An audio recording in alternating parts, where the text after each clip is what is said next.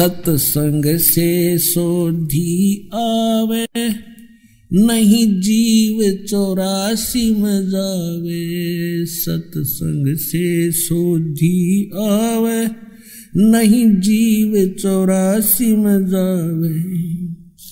अब मेटो द्वेष और राग, हो राग। या उम्र बतेरी जाली, अब मेटो द्वेष और राग, हो राग।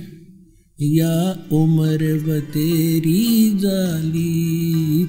पुण्यात्मा, ये मानुष जन्म कितना दुर्लभ है, और मनुष्य जीवन के अंदर फिर सतगुरु मिलना ये अति दुर्लभ है। श्रीमद् भगवत गीता अध्याय नंबर सात के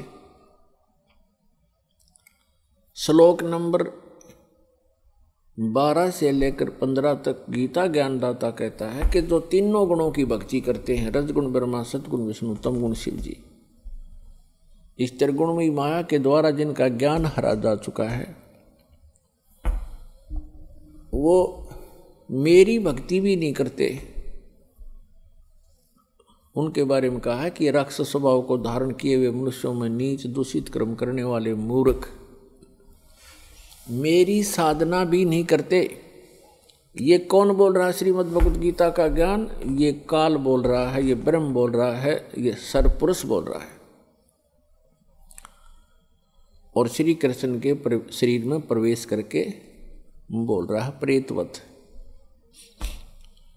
फिर ये कहता है सात में जाके सोलह से लेकर सोलह, सत्रह, अठारह, तीन श्लोकों में कहता है, जो मेरी भक्ति करते हैं, वो चार प्रकार के होते हैं, अर्थार्थी, आर्थ, जिज्ञासु और ज्ञानी। अर्थार्थी तो वो होते हैं जो धन लाभ के लिए अनुष्ठान करते हैं, धार्मिक अनुष्ठान। तो जो ब्रह्म साधना है इन चार प्रकार के ब्रह्म साधना करते हैं। वो धार्मिक अनुष्ठान जो करते हैं, वो वेदों के मंत्रों से ही करते हैं। वो किसी अन्य ग्रंथ का सहयोग नहीं लेते। वो जैसे जय गणेश जय गणेश देवा, कहते इस तरह की आरती वो नहीं करते। जो ब्रह्म साधक हैं, वो चार प्रकार के हैं, उनमें से अर्थार्थी और आर्थ और जिज्ञासु। ये वेदों पर विश्वास करने वाले होते हैं। और चौथा ज्ञानी। अर्थार्थी तो ये है जो हर धन लाभ के लिए कोई अनुष्ठान करता है तो वेदों के मंत्रों से ही करता कराता है। ऐसे ही अर्थ जो संकट निवारण के लिए भी वेद मंत्रों को ही आधार मानता है उनके आधार से अनुष्ठान करता है। जिज्ञासु वो होता है जो भगवान के लिए घर से निकलता है। जैसे भी उनको संत मिलते हैं, उनसे ज्ञान ग्रहण करके स्वयं वक्ता पाक जाता है, अपना जीवन नाश कर जाता है। ये तीनों व्यर्थ कर दिए। चौथा जो बताया, ज्ञानी। ज्ञानी उसे कहते हैं, जिसको ये पता लग गया कि मनुष्य जीवन बार बार नहीं मिलेगा। और मनुष्य जीवन का मूल उद्देश्य है आत्म कल्याण करवाना। और मोक्ष प्राप्ति करना। और उनको ये भी ज्ञान हो जाता है कि मोक्ष प्राप्ति केवल समर्थ भगवान, उस कंप्लीट गॉड, अल्लाह अकबर की भक्ति करने से ही संभव है। अन्य देवताओं की पूजा से नहीं। तो गीता ज्ञानदाता कहता है कि वो ज्ञानी जो हैं, वो मुझे अच्छे लगते हैं, उनको मैं अच्छा लगता हूँ। फिर ये है, क्योंकि वो मेरी भक्ति करते हैं ब्रह्म की। वो अन्य देवता में आस्था नहीं रखते।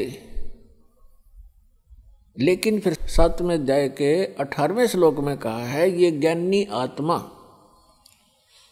जिन्होंने ये सोच लिया कि मनुष्य जीवन बार बार नहीं मिलता, मोक्ष हुआ तो सफलता है इस मनुष्य जीवन की, अन्यथा नहीं है। और उनको ये भी ज्ञान हो गया कि मनुष्य जीवन बार बार नहीं मिलता, और मोक्ष के लिए केवल पूर्ण परमात्मा की भक्ति ही करनी होती है, अन्य की नहीं। तो इसमें क्या बताया है कि इन चौथी प्रकार के जो ज्ञानी हैं, इनको चौथे अध्याय के बत्तीस और चौतीस में वर्णित वो तत्वदर्शी संत ना मिलने से इन्होंने अपने आप वेदों का निष्कर्ष निकाल लिया। यजुर्वेद अध्याय नंबर चालीस के मंत्र नंबर पंद्रह में कहा है कि ओम करतु समर, किलबे समर करतुम समर। ओम नाम का जाप काम करते करते सिमन करो। विशेष कसक के साथ सिमन करो। और मनुष्य जीवन का मूल कर्तव्य जान के ओम का सिमन करो। तो ये ओम नाम है ब्रह्म का। और उन्होंने गलती से मान लिया उस पूर्ण ब्रह्म का कंप्लीट गॉड का, परम अक्षर ब्रह्म का। अब कहते हैं, गुरु बिन वेद पढ़े जो प्राणी, समझे न सारे रहे अज्ञानी। सतगुरु बिन काहु न पाया ज्ञाना, जो थो था बुस छड़े मूड किसाना। गुरु बिन, सतगुरु बिन काहु न पाया ज्ञाना, और जो थो था बुस छड़े मूड किसाना, गुरु बिन वेद पढ़े जो प्राणी, समझे न सार रहे अज्ञानी। अब ये जितने भी ऋषि महर्षि आज तक हुए हैं, ये कंप्लीटली अज्ञानी थे, इनको तत्वदर्शी संत वो गुरु नहीं मिले। जो यजुर्वेद अध्याय नंबर चालीस के मंत्र नंबर दस में कहा है, वेद ज्ञानदाता वही है जो गीता ज्ञानदाता ब्रह्म है सरपुरुष है। उसमें लिखा हुआ है कि कुछ तो परमात्मा के विषय में कहते हैं, वो संभवात संभवात माने जन्म लेकर आने वाला। श्री राम, श्री कृष्ण या अन्य जो आठ या चौबीस अवतार बताए गए हैं। नौ या दस, चौबीस अवतार बताए गए उनमें। ऐसे आता है और कुछ मानते हैं, असंभवात वो जन्म नहीं लेता, उत्पन्न होता ही नहीं। अर्थात वो अजन्मा है। निराकार है। कुछ ऐसा बोलते हैं। उसके विषय में कहा है कि परमात्मा साकार है, निराकार है, या जन्म लेता है, नहीं लेता है, वो कैसा है? उसकी जानकारी तत्वदर्शी संत धीराणाम लिखा उसमें, धीराणाम। जिनका ज्ञान स्थिर हो, तत्वदर्शी संत बताते हैं, उनसे सुनो। इनकी बुद्धि पर पत्थर पड़ गए कि वेद ज्ञानदाता तो कहता है, कोई और है तत्वदर्शी संत है जो इन वेदों से हटकर ज्ञान देगा। वो उनके समझ में आया नहीं। और यजुर्वेद अध्याय नंबर चालीस के मंत्र नंबर सत्रह में स्पष्ट किया है, वेद ज्ञानदाता कहता है कि वो परमात्मा तो प्रोक्ष है, वो तो गुप्त है। वेद ज्ञानदाता स्वयं कहता है यजुर्वेद अध्याय नंबर चालीस के मंत्र नंबर सत्रह में कि वो परमात्मा तो गुप्त है। वो तो प्रोक्ष है, ऊपर रहता है और मैं ब्रह्म हूँ, मेरा ओम नाम है और मैं खम ब्रह्म, अहम ओम खम ब्रह्म, मैं ब्रह्म।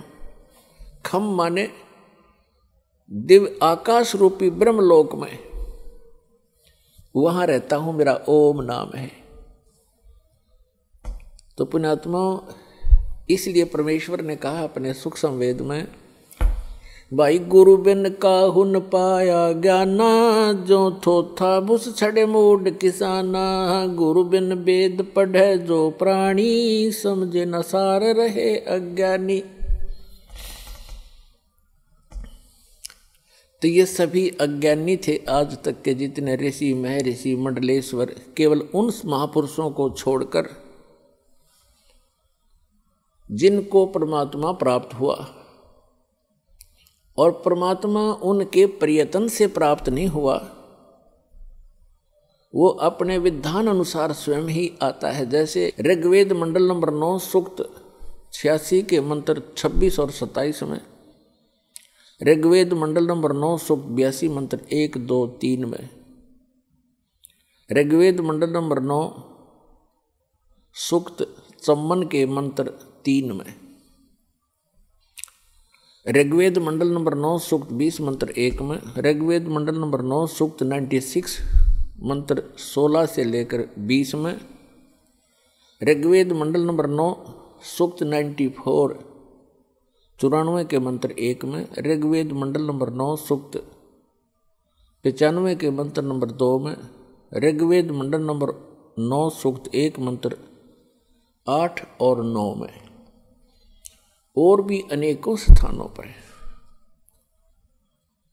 परमात्मा की महिमा लिखी है कि वो कबीर देव परमात्मा, वो परम अक्षर ब्रह्म है, सर्व उत्पादक है, सब आत्माओं का सर्जन करने वाला भी वही है और सभी ब्रह्मांडों का सर्जनहार वही है। और वो ऊपर के लोक में रहता है, ऊपर के लोकों में रहता है।